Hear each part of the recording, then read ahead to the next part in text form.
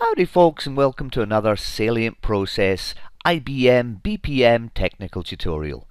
In this edition we're going to talk about the ability to perform administrative commands against both WebSphere Application Server and BPM from within the context of a BPM environment. Now before we get into that, let's talk about how administrative commands work today. So today you can perform administrative commands against WAS or BPM by using one of two primary activities. You can use the WS admin command line tool and perform degrees of scripting. So you can put those in batch files or uh, uh, DOS command shell scripts or whatever you have. And you can run administrative commands from the command line. Or alternatively, you can use the browser-based WAS admin console, connect that to your BPM server, and again make administrative command changes to the WAS server through the WAS admin console. Now, in both those cases, those are the end user tools or the, uh, the administrator tools, and under the covers, WAS saves its data to XML configuration files and various other places which are used by both WAS and BPM when the server starts up. That's the story. Now, as we study this, we find that wsadmin and WAS Admin Console are both front ends to a WebSphere application server specific set of Java classes. And those Java classes, I'm about to bring the browser over, those Java classes are called the WAS Command Manager. Now the Command Manager is part of the WebSphere Management Command Framework and it's a relatively simple to use Java class which can be used to perform administrative commands. So if in a Java program I have access to a Command Manager object, I can write applications which perform administrative commands. So what kinds of administrative commands can I run? Well, you've got access to all of the normal WebSphere application server commands, but in addition, you have a lot, in fact, over a hundred different admin commands which can be used for BPM administration. From defining systems to archiving toolkits to setting environment variables to importing application servers, and the list goes on and on and on and on. Now normally these are commands which are not available to you from within a BPM environment. You can run these commands from uh, shell script or from uh, uh, command line tools, but you can't call these from within a BPM environment. Now for many of these commands that makes sense. Uh, if you're defining a new BPM server. What sense, what does it mean to add a new BPM server from within a BPM server? But there are certain sets of commands which are indeed quite useful.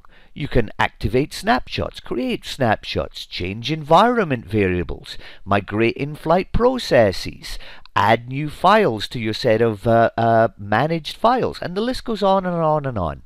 So there's a set of BPM commands, some of which may be useful to you to be able to run inside of a BPM environment.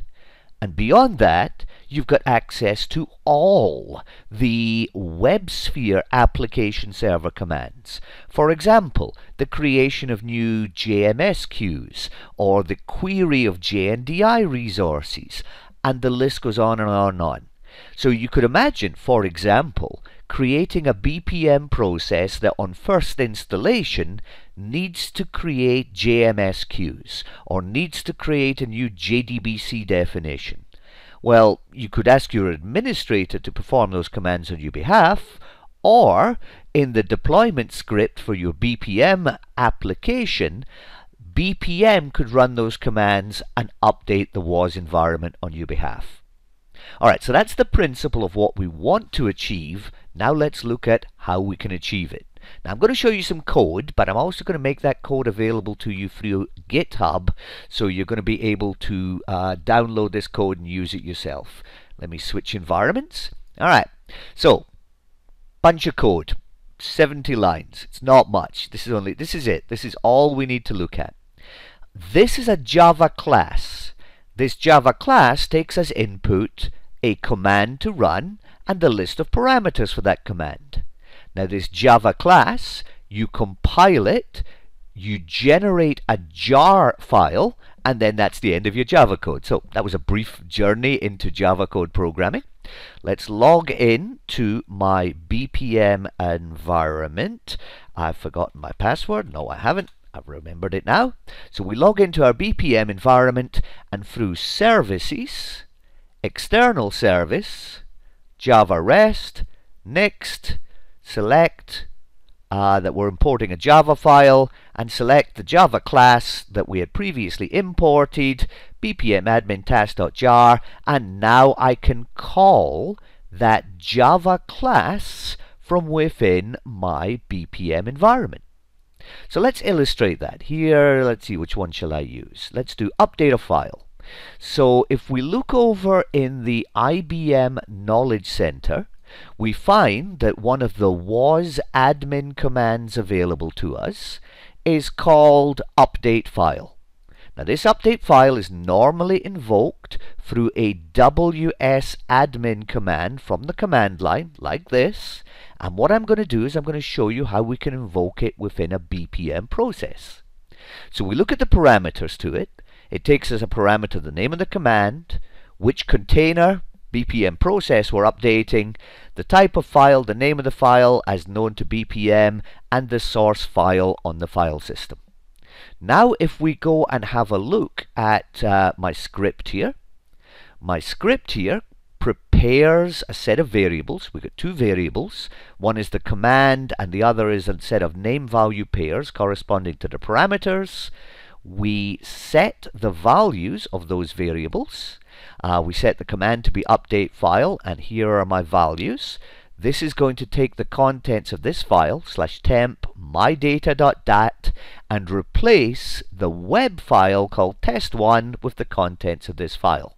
Now to show you that actually does something, let's bring up a browser, let uh, coach, let's look at our coach and I've got a custom HTML element here and that HTML element is going to take its content from the manage file. If I run this coach, we run, we see the file currently has the value hello world. Now let me drop to a Unix command shell let me now change, let me find the right Unix command shell. Let me change the value of this file.